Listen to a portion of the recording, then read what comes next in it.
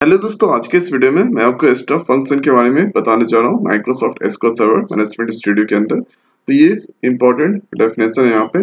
The stuff function delete the sequence of character from the string वो delete करता है sequence of character from the string and the insert another string of the character और वो insert करता है another string of the character into the string and starting at the specific position ठीक है, ये स्टार्ट होता है कोई भी स्पेसिफिक पोजिशन से।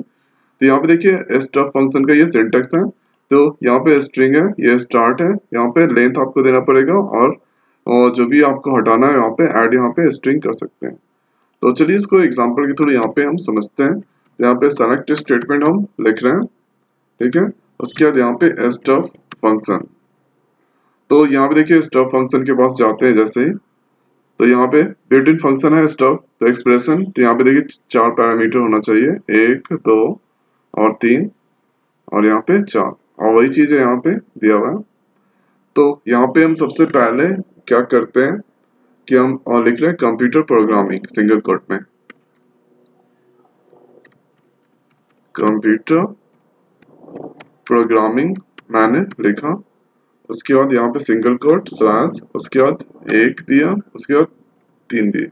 ठीक है? उसके बाद यहाँ पे, और माइक्रोसॉफ्ट ठीक है सिंगल कोट में माइक्रोसॉफ्ट हम लिख रहे हैं। उसके बाद एलियांस इसको देते हैं एज कॉट तो ये देखिए कंप्यूटर प्रोग्राम जो कि स्ट्रिंग है, यहाँ पे स्टार्ट तो ये एक से स्टार्ट होगा, और इसका लेंथ क्या है? तीन। ठीक है तो यहाँ पे माइक्रोसॉफ्ट ये ऐड होगा यहाँ पे। चलिए एक्सिक्यूट करके देख रहे हैं क्यूरी को। तो ये देखिए माइक्रो तो यहाँ पे स्टार्ट कहाँ से हुआ? एक। ठीक है और ये कहाँ तक जाएगा? तीन तक। तो यहाँ पे देखिए, एक से तीन तक यहाँ पे जो भी है माइक्रोसॉफ्ट यहाँ पे आ गया। माइक्रोसॉफ्ट यहाँ पे आ गया। उसके बाद यहाँ पे, और तीन तक ये हटा दिया। ठीक है? और इस यहाँ पे देखिए, यहाँ पे तीन तक ये हट गया। उसके बाद पी यू टी आर है। पी यू टी आर ऐसा करते हैं, यहाँ पे एक स्पेस दे देते हैं, तब जाके पता चलेगा सही से। तो यहाँ पे देखिए और एक से स्टार्ट हुआ, यहाँ से शुरू हुआ, ठीक है, तीन तक। तो यहाँ पे तीन जो ये और वैल्यूज़ है, यहाँ पे तीन ये सी ओ एम यहाँ से खत्म हो गया। तो इसकी जगह यहाँ पे माइक्रोसॉफ्ट आ गया। माइक्रोसॉफ्ट आ गया, उसके बाद यहाँ पे स्पेस है स्पेस उसके बाद P U T R programming तो इस तरह का है, यहाँ पे स्टॉप फ़ंक्शन उसके बाद चलिए एक और एग्जांपल देखते हैं, इसको कॉपी कर लें, नीचे पेस्ट कर देते हैं। यहाँ पे स्टार फ़ंक्शन तो यहाँ पे एसक्यूएल ट्यूटोरियल हम देते हैं, इस बार। SQL T U T U R I A N tutorial ठीक है? उसके बाद इसका हम कैपिटल ए या फिर कैपिटल ए देते हैं। उसके बाद यहाँ पे इसका वैल्यू तेरह से स्टार्ट होगा। तो यहाँ पे देखिए टोटल कैरेक्टर यहाँ तक काउंट कीजिएगा तेरह, और यहाँ पे एक। तो ये देखिए, यहाँ पे स्टार्ट तेरह लेंथ है, यहाँ पे एक, और एड स्ट्रिंग करेंगे यहाँ पे नाइस लैंग्वेज तो यहाँ पे हम देते हैं नाइस लैंग्वेज ठीक है? तो अगर हम इस क्वेरी को एग्जीक्यूट करते हैं तो ये देखिए एसक्यूट ट्यूटोरियल यहाँ पे, उसके बाद यहाँ पे जो आया, यहाँ पे तेरह तेरह पोजीशन पे यहाँ पे है उसके बाद एक ही जगह यहाँ पे नाइस लैंग्वेज आ गया, ठीक है? यहाँ पे नाइस लैंग्वेज यहाँ पे स्पेस मैंने दिया है, इसलिए यहाँ पे स्पेस है लैंग्वेज तो अगर यहाँ पे एक को हटा दीजिएगा तो टोटल कैरेक्टर यहाँ पे काउंट कीजिएगा तो ये बारह आएगा। एक, दो, तीन, यहाँ पे स्पेस चार, पाँच छः सात, आठ, नौ, दस, ग्यारह, बारह। एक्सिक्यूट कीजिएगा तो कोई आउटपुट यहाँ पे डिस्प्ले नहीं होगा नल डिस्प्ले हो रहा है। तो ठीक है यहाँ पे तेरह से ज़्यादा कैरेक्टर होना ही चाहिए यहाँ पे चार दे दीजिए कोई वैल्यू दे दीजिए कोई दिक्कत नहीं है वहाँ पे आउटपुट यहाँ पे यहाँ पे पहुँचा तेरह पे पहुँचा तो तेरह से स्टार्ट हुआ उसके बाद एक तो यहाँ पे तेरह की जगह यहाँ पे नाइस लैंग्वेज यहाँ पे डिस्प्ले हो गया तो यही है एक्स्ट्रा फ़ंक्शन उसके बाद यहाँ पे एक इंटरेस्टिंग कोड के थ्रू हम समझते हैं एक्स्ट्रा फ़ंक्शन का जैसे यहाँ पे मेरा इंटेंशन ये है जैसे यहाँ पे इतना रिकॉर्ड यहाँ पे डुप्लीकेट है एक है तीन बार तो हम ऐसा करते हैं कि यहाँ पे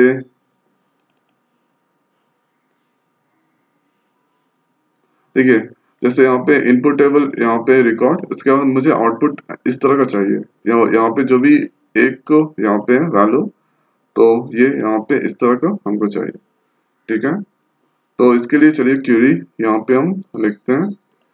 तो इसके लिए थोड़ा कम्प्लीटेड कॉम्प्लिकेटेड क्यूरी होगा यहाँ पे। तो यहाँ पे सबसे इनर क्यूरी आउटर क्यूरी ये सब के बारे में समझना पड़ेगा। तो यहाँ पे चलिए सेलेक्ट लिखते हैं सबसे पहले। उसके बाद आईडी तो मैं टेबल यहाँ पे यूज़ कर रहा हूँ E M P employ table तो यहाँ पे सेलेक्ट किए आईडी यहाँ से। उसके बाद यहाँ पे नेम को सेलेक्ट किया, फिर यहाँ पे डीओ बर्थ को सेलेक्ट किया। ठीक है? उसके बाद यहाँ पे नीचे जाके हम स्टॉप फ़ंक्शन यूज़ कर रहे हैं।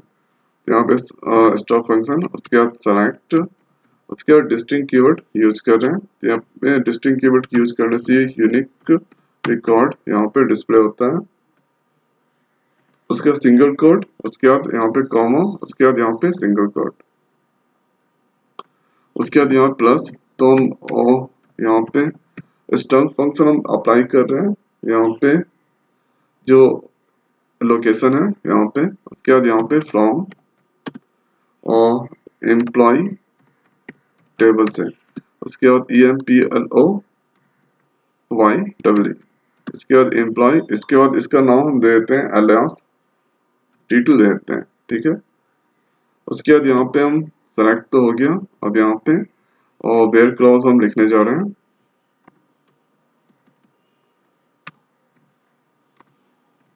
बेयर क्लॉज उसके बाद यहाँ पे, और टी टू डॉट डॉट देंगे तो यहाँ पे देखिए इतना सा ऑप्शन आ रहा है तो यहाँ पे आईडी से कंपेयर करेंगे। उसके बाद यहाँ पे, और टी वन तो टी वन अभी कुछ है नहीं, यहाँ पे तो हम डायरेक्ट अभी आईडी यहाँ पे फ़िलहाल यहाँ पे डाल देते हैं। ठीक है? टी वन उसके बाद यहाँ पे और for X M L X M L उसके बाद यहाँ पे हम पाथ देते हैं स्पेस तो यहाँ पे सिंगल कोट यहाँ पे सिंगल कोट उसके बाद यहाँ पे क्लोज कर देते हैं तो स्टॉप फ़ंक्शन में ये पहला जो हुआ ये पहला पैरामीटर है उसके बाद यहाँ पे ये दूसरा पैरामीटर स्टार्ट होगा वन से यहाँ पे लेंथ होगा वन काउंट करेगा ठीक है उसके बाद यहाँ पे रिप्लेस स्ट्रिंग यहाँ पे सिंगल कोट यहाँ पे स्पेस उसके बाद यहाँ पे एज उसके बाद यहाँ पे कॉल कॉलम उसके बाद यहाँ पे और फ्रॉम कर देते हैं, उसके बाद एम्प्लॉय टेबल से। तो ये ऑटो क्यूरी है एम्प्लॉय इसके बाद इसका नाम दे देते हैं हम टी वन ठीक है? अब देखिए सारा एरर खत्म हो गया। उसके बाद यहाँ पे हम सबको हम ग्रुप बाई कर देते हैं। ग्रुप बाई आईडी उसके बाद यहाँ पे आईडी के बाद यहाँ पे नेम कर देते हैं। उसके बाद यहाँ पे डी ओ बी ठीक है? तो यहाँ पे अगर हम इस क्यूरी को एग्जीक्यूट करेंगे तो ये देखिए हमको एक्सपेक्टेड आउटपुट यहाँ पे मिल रहा है। तो यहाँ पे देखिए हमको चाहिए था ये, उसके बाद यहाँ पे ये सब मिल रहा है। तो यहाँ पे मिल रहा है। अब ये देखिए, इतना सारा पार्ट है। पहले बात इनर क्यूरी का कंसेप्ट है, फिर स्टफ़ फ़ंक्शन है कंसेप्ट है, फिर फोर एक्सएमएल का यहाँ पे कंसेप्ट है। इतना सारा चीज़ का यहाँ पे कंसेप्ट है। तो यहाँ पे देखिए सेलेक्ट डिस्टिंग उसके बाद यहाँ पे कॉमा लोकेशन फ्रॉम एम्प्लॉय और टी टू उसके बाद यहाँ पे where T two equal to I D यहाँ पे टी वन आई डी फिर यहाँ पे फोर एक्सएमएल पाथ उसके बाद कामा कामा यहाँ पे एस यहाँ पे इस तरह का। अब देखिए यहाँ पे एक एक करके समझते हैं, जैसे इस क्यूरी को हम छांट देते हैं। ठीक है? इसको हम अलग कर देते हैं।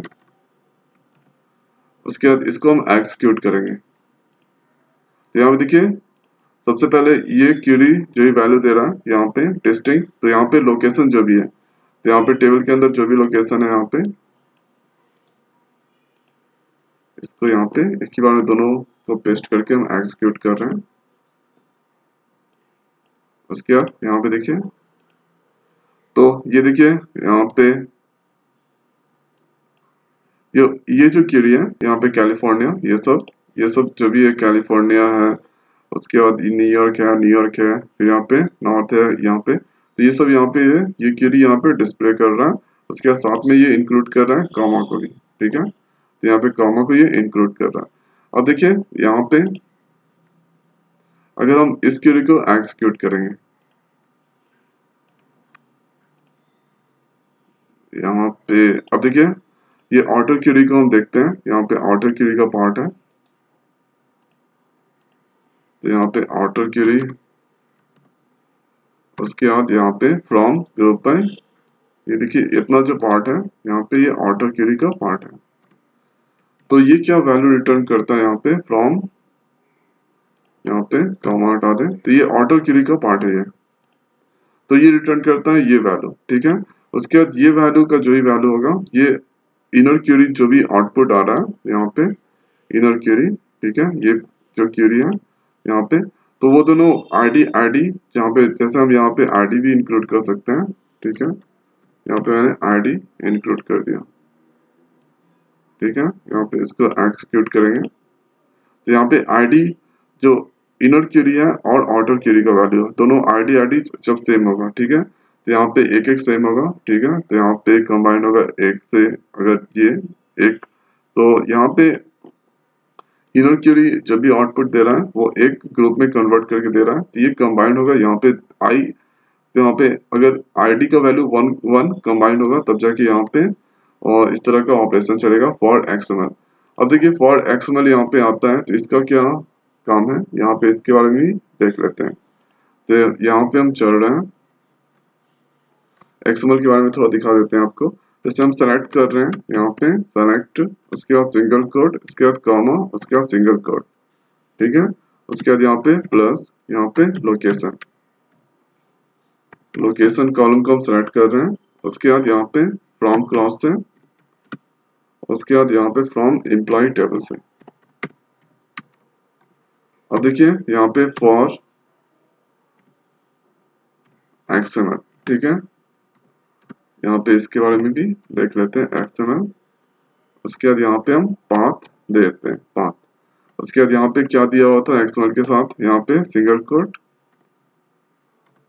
single quote single quote, bracket. अगर हम इसको एक्सिक्यूट करेंगे, देखिए क्या आउटपुट आता है। तो ये जो भी एक्सएमएल जो होता है, यहाँ पे जो भी वैल्यू होता है, इस तरह के फॉर्म में डिस्प्ले करता है, ठीक है? इस तरह के फॉर्म में। मतलब जो भी यहाँ पे कॉलम जो लोकेशन है, सबको इस तरह के फॉर्म में कन्वर्ट कर देता है।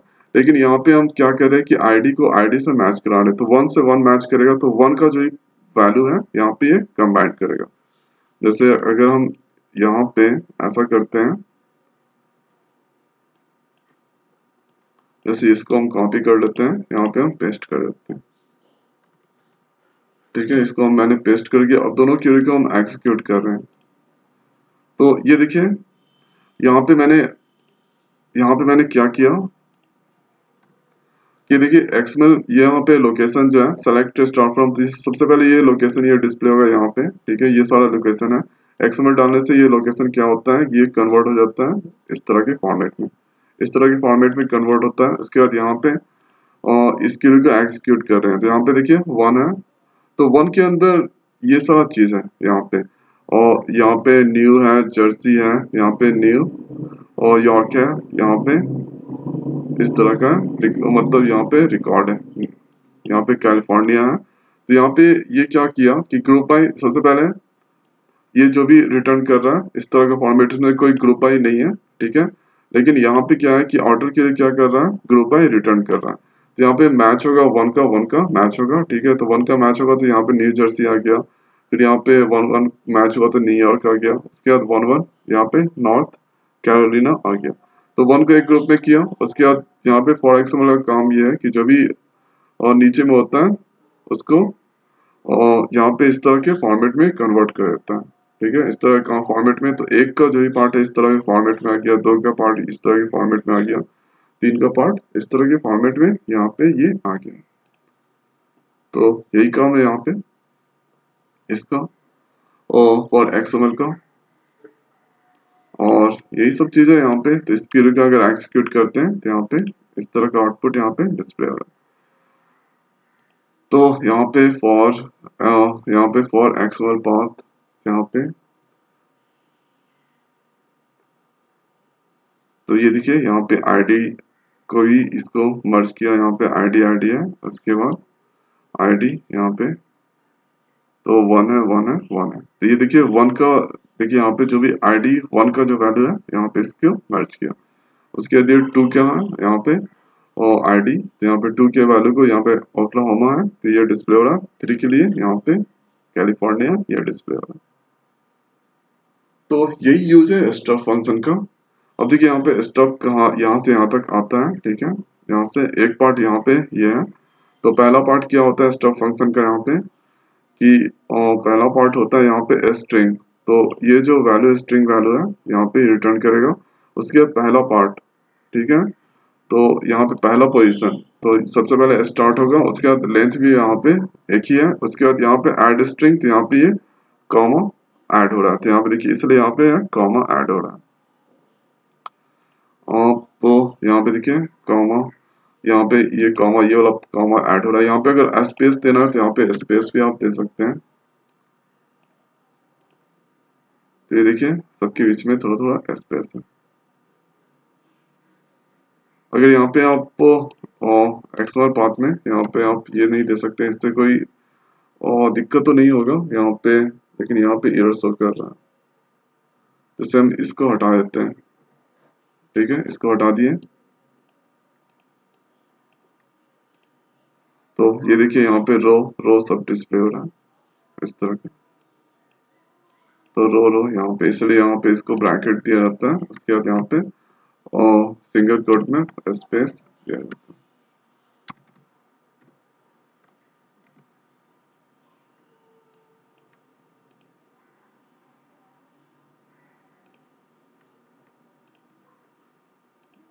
कुछ एरर आ रहा है, चलिए फिर से एग्जीक्यूट करते हैं। यहाँ पे एक्सएमएल आइडेंटिफायर के अंदर कुछ एरर आ रहा है। तो यहाँ पे फॉर एक्सएमएल यहाँ पे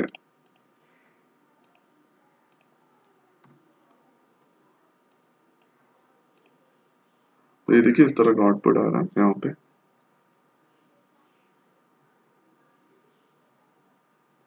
अब देखिए यहाँ पे स्पेस हम नहीं देंगे, तब भी कोई दिक्कत नहीं होगा यहाँ पे। यहाँ पे सेम और इस तरह का जो भी एक्सपेक्टेड आउटपुट है, यहाँ पे ये डिस्प्ले हो रहा है। तो ये सारा चीज़ें यहाँ पे स्टफ़ फ़ंक्शन के अंदर Microsoft SQL server management studio के अंदर। तो मैं आशा करता हूँ कि ये वीडियो आपको अच्छा और समझ में आ गया होगा। तो आज की वीडियो में इतना ही। मिलते हैं नई वीडियो में नई टॉपिक के साथ। Thank you